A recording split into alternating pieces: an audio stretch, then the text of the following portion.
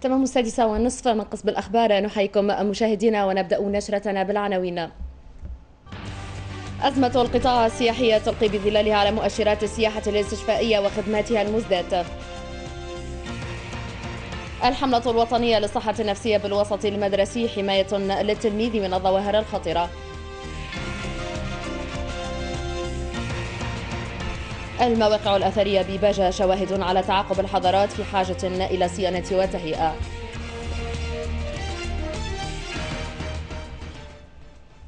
مرحبا مجددا.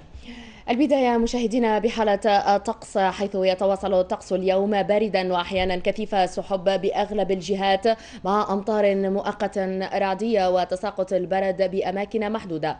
وتم تسجيل تساقط الثلوج بالمرتفعات فقد شهدت المناطق الجبلية بولاية الكافة تساقطا للثلوج ونزول كميات مهمة من الأمطار. تجاوزت ال 15 ملم مع انخفاض ملحوظ في درجات الحرارة. وتتوقع مصالح الأرصاد الجوية أن يتواصل تساقط الثلوج على هذه المناطق الليلة وخلال يوم غد الأحد. هذا وقد تولت السلطات الجهوية اتخاذ مجموعة من الإجراءات الاحتياطية للتوقي من تداعيات موجة البرد على الأهالي وعلى حركة المرور بكامل ربوع الشمال الغربي. ودعت وزارة التجهيز والإسكان مستعملي شبكات الطرقات إلى ملازمة الحذر واحترام إشارات المرور. تصدر تونس للمراتب الأولى عالميا في السياحة الاستشفائية والمعالجة بمياه البحر لم يشفع لها حيث أغلقت بعض المراكز الاستشفائية بجزيرة جربة أبوابها رغم الجودة في الخدمات المقدمة. وضعية صعبة للقطاع السياحي ألقت بظلالها على منتوج السياحة الاستشفائية. في تداعيات مباشرة لأزمة القطاع السياحي ببلادنا تأثر منتوج السياحة الاستشفائية والمعالجة بمياه البحر الذي تحتل فيه تونس المرتبة الثانية في العالم بعد فرنسا وأقفلت عديد المراكز الاستشفائية أبوابها بالمنطقة السياحية جربة جرجيس. يلزمنا نغنمو يلزم البلاد تعطي آه، إشعاع إيجابي ce qu'on appelle des ondes positives اللي هما يلزموا يكبتيوهم الناس الحرفاء اليوم في جربه على 100 اوتيل فما 80 اوتيل ولا 85 اوتيل مسكر. الوتلة اللي ما زالت محلولة ما فيها كان بين 80 و100 ساح.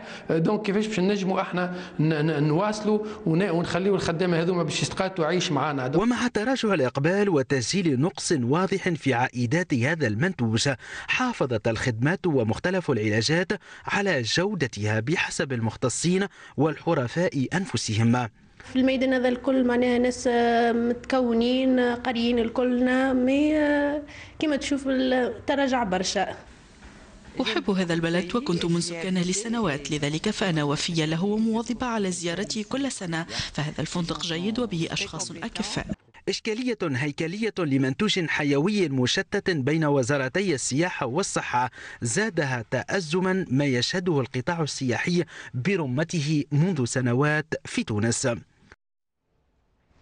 في ولاية القسرين حالة احتقان في صفوف المعاطلين عن العمل الذين أكدوا التلاعب بملف الانتدابات بعد التغيير في القائمة الأصلية للأسماء ما دفع بعدد من المعنيين بالأمر إلى الاحتجاج والمطالبة بضرورة فتح تحقيق في الغرض. إصابات بالغة الخطورة استوجبت نقل شاب إلى أحد المستشفيات الكبرى لتلقي العلاج إثر تعرضه إلى صعقة كهربائية بعد تسلقه لعمود كهربائية قصد محاولة الانتحار. زميلنا هذا قمنا بالاعتصام فهمت؟ ما بعضنا من عام الأول. دجات الحكاية قلت يحكوها أصحابي ما غير نطول عليكم. مشى باش يقابل الليسته هذه اسمه واسمي واسم برشا أسامي تبدلوا. مشى باش يقابل الوالي باش يشوف الوضعية. فهمتني؟ اذا بيت ما حبش يقابلوا يعني كثرة الرشوة كثرة المعاملات هو هو جاء اليوم حب يقابل السيد الوالي سأل اليوم قالوا لي ما نعرفش ما حبوش يخلوه يدخل لي ولا الله أعلم. عائلة الشاب المذكور واصدقائه أكدوا وجود تلاعب بملف الانتدابات وطلبوا بفتح تحقيق في الغرض وفتح ملف الفساد. تنحى اسمه. سنين فازع علاش يتنحى اسمه؟ سامي نصر اللي رشيد. علاش نحى سامي الناس هذه وعلاش تبدل؟ شكون اللي بدلهم؟ أنا نشكي للسلطة المعنية ولا الوزير الأول ولا الوزير ورئيس الدولة. ولو النواب نتاعنا اللي نايبيننا يعطوني حق ولدي. شفنا القائمة اللي تم إعدادها سنة 2014 آه، لقينا أنه نقصوا منها مجموعة وتعرفوا أنه بطبيعة الحال أنه الانتدابات هي تمر عبر آه، إجراءات إدارية. باش نثبتوا آه، شنو هي الأسباب اللي دعات أنه هالمجموعة هذه معناها ما تمش الاتصال بها؟ مع العلم ونأكد هذا أنه نفس القائمة اللي تم الاتصال بها اليوم هي نفس القائمة اللي تم إعدادها سنة 2014 نقصت منها عدد اللي هو في حدود سبعة ولا ثمانية. كما طرحت هذه الحادثة إشكال القطاع الصحي بالجهة ونقص الإمكانيات المادية والبشرية بالمستشفى الجهوي بالقصرين. ضرورة أن يكون الإصلاح التربوي بمختلف مراحله محل أوسع وفاق ممكن بما يوفر شروط الفضلى لتجسيمه وتحقيق الأهداف المرجوة منها. هذا ما أكده رئيس الحكومة لحبيب الصيد خلال لقاء جمعه اليوم بقصر الحكومة بالقصبة بوزير التربية ناجي جلول. وكان اللقاء مناسبة لمتابعة سير عمل وزارة التربية وبرنامج عملها في الفترة القادمة في إطار تكريس التوجهات والمشاريع المندرجة ضمن ميزانية الدولة لسنة سنة 16 و2000 كما تم التطرق خلال هذا اللقاء وفق بلاغ إعلامي لرئاسة الحكومة إلى سير الموسم الدراسي والجهود المبذولة لصيانة المؤسسات التربوية خاصة في المناطق الداخلية. إذا وفي معالجة لعدد من الظواهر النفسية التي يمر بها التلميذ. أطلقت وزارة التربية برنامجا للصحة النفسية في الوسط المدرسي وكانت الانطلاقة في هذه الحملة الوطنية من مدينة الأعلى بالقيروان من خلال لقاءات تفاعلية بين التلاميذ والإطار التربوي. من مدينة العلاء كانت انطلاقة الحملة الوطنية للصحة النفسية في الوسط المدرسي. برنامج أطلقته وزارة التربية ويهدف للحد من الظواهر الخطرة. حملة وطنية والانطلاق باش تكون أساس من ولاية قيروان وأساس من الأعلى آه، الأعلى. بون نحن نعملوا أنه هي آه، حملة وطنية للصحة النفسية آه، تستهدف أساسا أبناء التلاميذ. أطباء نفسيون من مختلف ولايات الجمهورية ينكبون على دراسة بعض الظواهر لدى التلاميذ من خلال أنشطة موجهة. نجم نحمل الشعار ندافع عليه نتنقل في في مناطق الجمهورية الكل. نشرك معايا التلامذه أنا لو ميساج اللي اللي مررته توا للتلامذة الكل قلت لهم ما عادش تستناو إنه واحد آه، معناتها يجي يعطيكم أسباب السعادة ولا أسأل آه، أنتم فكروا بينات بعضكم. حبينا نشوفوا تصورات التلميذ للمدرسة نتاعو الأنشطة اللي يحب يمارسها خارج المدرسة وكيف كيف تناول جانب العائلة زاد؟ كيفاش يحب تكون عائلته؟ فهمت؟ هذوما الجوانب الكل باش في الآخر نخرجوا ب des recommandations نحب آه، موسيقى. يعني يحطوا لنا salle sport هنا. رغم أهمية الحملة النفسية التي أطلقتها وزارة التربية فإن بعض المربين يرون أنها أتت متأخرة بعض الشيء ويرجون ألا تكون بصفة ظرفية. وفي موضوع آخر الآن وبعد غلقه لمدة أربع سنوات تمت إعادة فتح مركز شرطة العطايا بولاية صفاقس. عودة استبشر بها رجل الأمن يؤدي مهامه على أفضل وجه والمواطن الذي تعطلت مصالحه. سي نصر لا يكاد يصدق أنه سيزيح اليوم عن نفسه عبء استخراج جوازي سفر لابنتيه دون عناء التنقل إلى منطقة الأمن التي تبعد عن محل سكنه أكثر من عشرة كيلومترات. هذه المشاكل الكل يحلها. ويلزم الناس تفهم اللي المشاكل نتاع المركز راهو معناها عنده قيمة كبيرة برشا. ما يلزمش معناها تصرفات تبدأ تصرفات غالطة ومش في بلاصتها. تصرف يبدأ عشوائي ولا مشكل ولا كذا يبعد عن المؤسسه وعلى كذا لأن هذه مؤسسة نتاع دولة نستحقوها وثائقنا مشاكلنا الكل تتحل كلها هنا هذا عدا الهاجس الأمني الذي عاشت على واقع المنطقة منذ أربع سنوات في غياب نقطة أمنية قارة قريبة. كموجة الزطة وغيرها وغيرها وتدعو على مركز باش يكسروه باش يعملوا كل شيء. وما يساعدهمش باش الأمن يكون هنا وما علاش نصلحوا المركز يكسروه علاش يحبوا الامن يجي لنا باش هما يقعدوا مستصبعين في البلاد على روحهم يعيشوا بربوط. مطلب معناها أكيد ومؤكد جدا معناها الناس الكل آه، طالبة به هذا من اقامه الثورة. هذا ثاني مرة يصلح المركز هذا وحتى تصليح المركز راهو من المواطنين الناس الكل ضافرت الجهود نتاعهم ورجع المركز هذا بمساعدة الاهالي نتاع الجهة هذه اليوم كانوا يطالبوا به معناتها بشدة وساهموا حتى في التهيئة نتاعو في صيانته والحمد لله ورجعنا تو اليوم تركزنا هنا وإن شاء الله نقدموا خدمات المرجوة من المواطن إن شاء الله نكونوا بحق شرطة جوار وأمن جمهوري. في ميناء العطايا هواجس امنيه أخرى جعلت المشتغلين في الميناء يستبشرون بقرب افتتاح مركز للحرس البحري. المركز راهو ضروري بالنسبة باش يجي في وسط البرد. أنا قلت لك راهي حاجة ضروريه أمن في البلاد راهو باهي. اما يا خويا زاد ما نحبهمش يظلموا على على المواطنين. أمن البلاد يتطلب ماذا فتحنا المركز كما هذا وأمن البلاد يعني وأمن المواطن بالأساس أيضا يتطلب ضرورة فتح المركز كهذا. باستثناء تعطل الخط البحري لم تعرف قرقنا توترا امنيا خطيرا طيلة السنوات الخمس الماضية إلا أن المراكز الأمنية القارة وأعوانها وتجهيزاتها من شأنها أن تضع حدا لعدد من التجاوزات في شتاء الجزيرة وصيفها.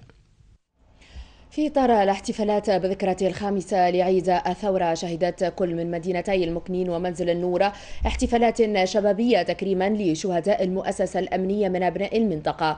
احتفالات جاءت تحت عنوان نحن الشباب حماة الحمى من خلال جملة من الأنشطة الثقافية والرياضية. إحياء لذكرى شهداء المؤسسة الأمنية وفي إطار الاحتفالات بعيدي الثورة والشباب شهدت مدينة المكنين من ولاية المنستير احتفالا بتحية العلم في إطار البرنامج الوطني شباب الوفاء حماة الحمى. بمناسبة الاحتفال بعيد الثورة وعيد الشباب قامت دار شباب المكنين على غرار جميع دور الشباب بتنظيم تظاهرات شبابية. عنوانها نحن شباب حماة الحمى الإرهابيين هذوما إحنا قاموا فيهم بالإبداع بالفكر بحب الوطن بالعلم المفدى هذا هو دورنا وإن شاء الله شباب تونس وتحيا تونس. أنشطة ثقافية وشبابية إلى جانب تكريم الجيش الوطني وممثلين عن أسلاك الأمن الوطني احتضنتها دار الشباب المكنين وكانت فرصة للاطلاع على مختلف أنشطة الدار.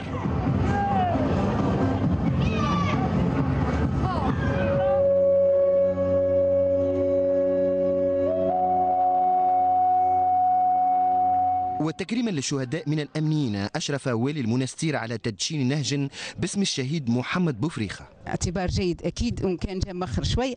أما نشكر كل من كرم وكل من جاء وحضر ونترحم على كل شهداء تونس. نحب اليوم الشباب وجميع المواطنين كلهم فاعلين في بناء مقومات الدولة الحديثة ومقومات الجمهورية الثانية.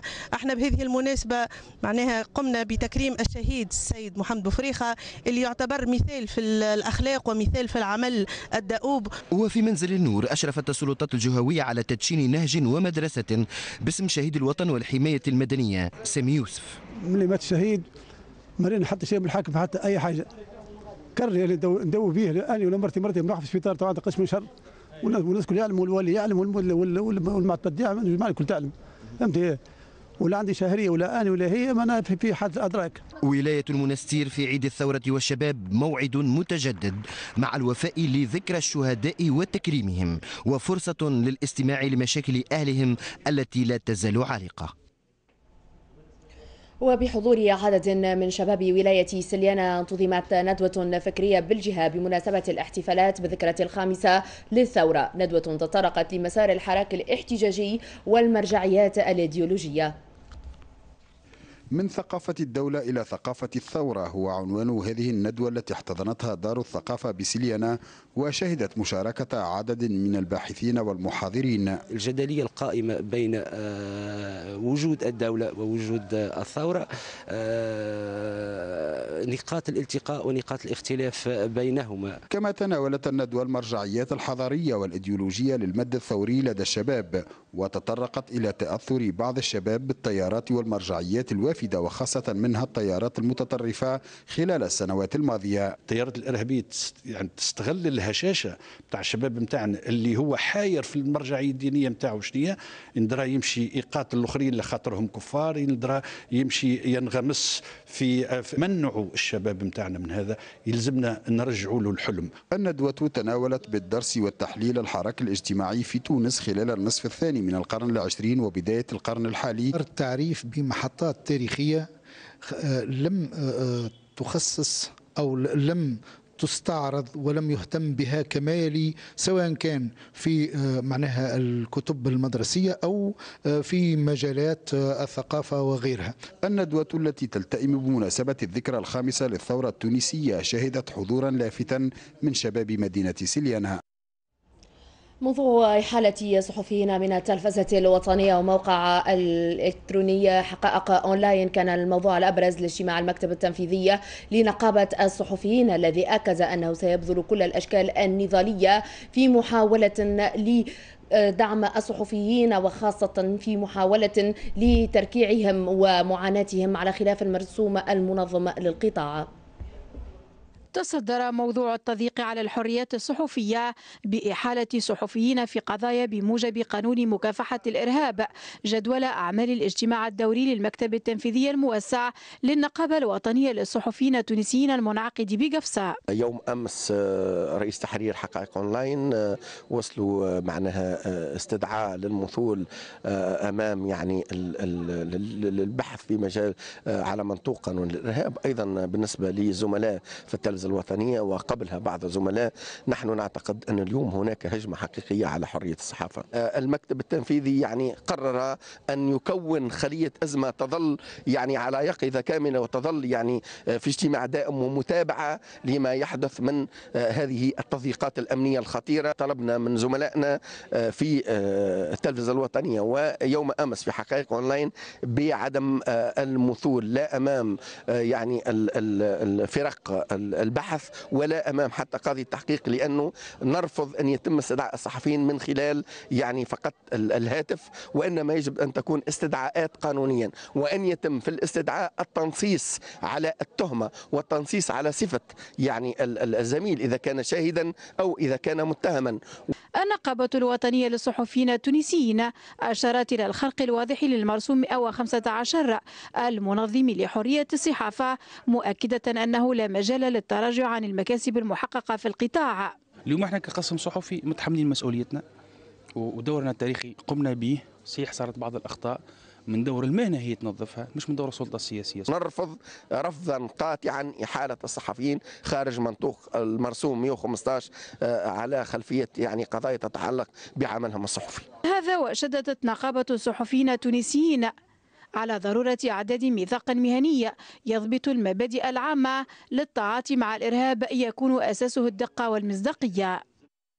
وقع صحافة القرب في الأعلام الجهوية وأي دور يكتسيه مثلت أبرز محاور اليوم الإعلامي الذي أقيم بمدينة توزر بمناسبة الاحتفال بذكرى الخامسة والخمسين لتأسيس وكالة تونس أفريقيا للأنباء. لقاء طرحت خلاله كذلك الإشكاليات والتحديات الخاصة بصحفي الجهات.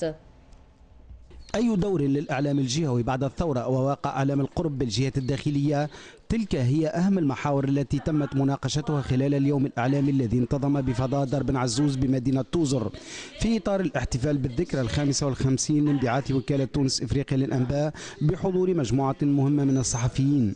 الجهة أصبحت آه، آه، أصوات متعددة وخرجت من بوتقة الصوت الواحد. الإعلامي في الجهات ولا متحرر أكثر متحرك أكثر؟ معناتها في في المساحة الجغرافية نتاعو ولا عنده دور مع المجتمع المدني؟ رغم ما حققه العالم الجهوي في فك العزلة إعلاميا على المناطق الداخلية إلى أنه ما يزال بعض الإعلاميين وأصحاب القطاع يعانون بعض الصعوبات. متطلبات المواطن ولا طلباته من الصحفي ولت أكبر ولا يحاول يفرض وجهة نظر على الصحفي ولا يوجد نفسه في حيرة بين ترضية المؤسسة الإعلامية وترضية المواطن. أه، نلاحظوا كونها الإعلام المحلي والجهوي مطروح عليه معناها التزامات كبيرة وعلى عاتقه محطوطة مسؤولية كبيرة خاصة في ظل التغيرات اللي قاعدة بتشهدها منها المؤسسات على مستوى المحلي والجهوي. طموح الجهات الداخلية بوجود مساحة إعلامية أكبر في الاعلام العمومي. تعنى بالمشاغل الداخلية. هو مطلب قديم جديد. كنا كنا تحدثنا آه، بعد الثورة على ضروره إيجاد آه، قناة آه، وطنية تعنى بالشأن الجهوي. يبدو أن هذا المطلب إلى حد الآن لم يحقق اقتصر فقط على بعض الأخبار الجهوية. تعزيز القدرات اللوجستية والبشرية في الجهات الداخلية لضمان أوفر الحظوظ للمراسلين والصحفيين العمل في أحسن الظروف من الإشكاليات التي تم طرحها في هذا الملتقى. والآن إلى صالون التسوق بجزيرة جربة في مواكبة لآخر الابتكارات في الأثاث والديكور. دورة ورغم نقائصها المسجلة في مستوى تنوع المنتوج فإنها شهدت إقبالا وكان المعرض فرصة للعارضين من خلال خلق حركية تجارية بالجهة. في تظاهرة اقتصادية جديدة انطلقت بجزيرة جربة فعاليات معرض اقتصادي عده الصناعيون والحرفيون فرصة متجددة لعرض آخر ابتكاراتهم مباشرة للحرفاء والمستهلكين. قدموا في الفروشات نتاع تركيا اللي تخص معنا زهاز العرايس وإن شاء الله القبال يكون باهي. فروشات سورية. فروشات من سوريا وحاجة يعني إن شاء الله إن شاء الله يكون عند الحزن الظن يعني عند الناس وكذا. اسعار باهيه يعني مدروسة الأسعار نتاعنا كلها مدروسة بعد. هي الدورة فهمتني؟ يا راهي معناتها تخدم مصلحة الشاري أكثر من مصلحة البيع. خاطر ديما عنده فرصته في اللي بري فرصته فرصته في اللي بري بتاع الشراء ديما فما سوم تاع معرض. أه الحريف لازم ديما يلقى منتوج جديد ويلقى موديلات جدد وحاجة معناتها ذات جودة عالية. ولئن وفر هذا المعرض مجالا إضافيا للاختيار للحرفاء فإن تنويع المعروضات المقدمة فيه مثل مطلب من واكب هذه التظاهرة الاقتصادية. موجود كل شيء كل شيء متوفر كل شيء باهي موبيليات رخيص كل شيء كل شيء تصور في بالك موجود. كل شيء متوفر رخيص بارابور البرة. الأساس في العارضين هو الجودة وهذيك هو راس هي الجودة المنتوج اللي موجود يكون إن شاء الله تونسي يكون موجود من بنزر من سوسه من تونس من صفاقس من الجنوب موجود هنا باش نوفروا أكثر نقولوا إحنا اختيار للشاري في انتظام معرض اقتصادي بحسب المختصين فوائد وعوائد مشتركة للمصنعين والحرفيين والمهنيين والمستهلكين على حد السواء.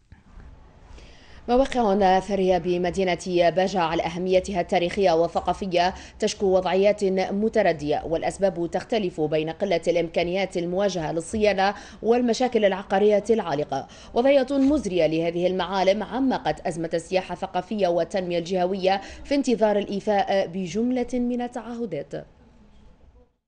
مواقع أثرية متنوعة بولاية باجة صنف بعضها ضمن مواقع التراث العالمي مواقع اختلفت أهميتها التاريخية والحضارية لتشكل الجهة مزيجا من الحضارات كالرومانية والبيزنطية والأندلسية والعربية الإسلامية. الولاية فيها كثير من المعالم والمواقع اللي معناها تستحق العناية. فيها اللي تم ولا معناها كما دقة واللي هي مازالت تستحق عديد الخطوات الأخرى. ولكن فما حاجات اللي مازالت في الحقيقة في يلزمنا تدخل عاجل. لفته عاجله من معهد الوطني التراث وإلى السيدة وزيره الثقافة الجديدة. راهو ما نجموش نحاربوا هالآفة نتاع الإرهاب المتوافد علينا معناها من كل صوب وحدب إلا بالثقافة والثقافة لازم يكون عندها بصمة ثقافية وبصمة معناها تكون نابعة من الموروث الثقافي نتاعنا باش نجموا ننهضوا بالبلاد هذه هي تونس الكل.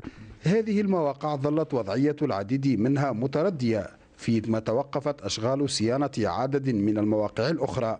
وصلنا إلى نتائج نعتبرها مقبولة ولكن أنا نقول في نهاية الأمر أنه في هذا الملف اللي هو مهم جدا بمقاييس مختلفة بمقاييس الوجداني ولا ال ولا ال التاريخي ولا مقياس المنفعة المادية من حيث ضرورة تثمين هذا الإرث الحضاري ما زال ينتظرنا جهد كبير وعمل نتوقعه مضني ولكن إن شاء الله يتوج بنتائج طيبة بالنسبة للجهة وبالنسبة لهذا الموضوع بالذات. تداخل ملكية هذه المواقع وضعف الاعتمادات الموجهة للصيانة.